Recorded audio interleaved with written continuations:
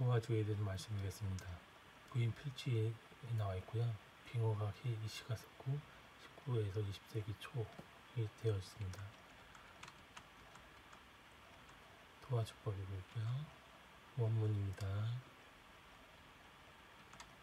네, 번역문이고요. 조리법입니다. 밑술 만드는 법 1.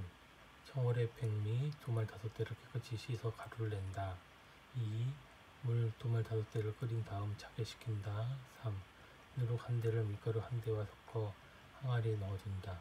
덧술 만드는 법 1. 복숭아꽃이 피는 시기에 백미와 찹쌀을 각각 세 말씩 깨끗이 씻어 파여짠 찐다. 2. 물을 끓여 밥에 붓고 밥과 물이 다 식은 후에 먼저 만든 밑술에 버무린다. 3. 복숭아꽃 두 대를 먼저 독 밑에 넣고 나머지 버무린 것을 모두 넣은 다음 복숭아 나무까지 세네 개를 가운데 넣고 술을 끓인다. 술을 조금만 만들려면 비율대로 적은 양을 사용하면 된다. 이렇게 되어 있습니다. 항아리가 필요합니다.